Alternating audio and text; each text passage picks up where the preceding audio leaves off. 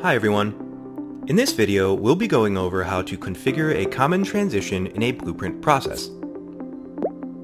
A transition that can be executed from all or specific stages in a blueprint process is called a common transition. For example, in an order to delivery process, the user should be able to cancel the order when it's in the ordered, processed, or shipped stage, but not after completing the delivery stage. Let's see how to configure a parallel transition that fits this requirement. Here we have a blueprint configured for the order to delivery process. Currently, the transition cancel order is associated only with the order stage, but then the user should also be able to cancel from the processed and shipped stage.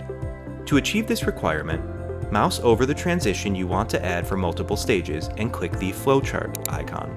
Then enable the common transition. When a transition is made common, every stage of the blueprint will pass through it by default.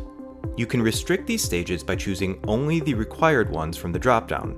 In this case, let's disable the delivered stage and hit Save Blueprint. Now, a user can cancel the order when it's in the ordered, processed, and shipped stages, but not after delivery.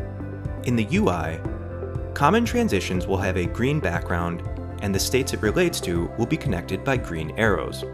Let's access the application and access the orders report. We have four orders here. The first three orders on the ordered, shipped, and processed stage contain the cancel order transition. Whereas the last one does not have it because the shipment has already been delivered to the customer. That's the logic we defined earlier during the configuration. And that's about it for common transitions. Thanks for watching, and we'll see you in the next video.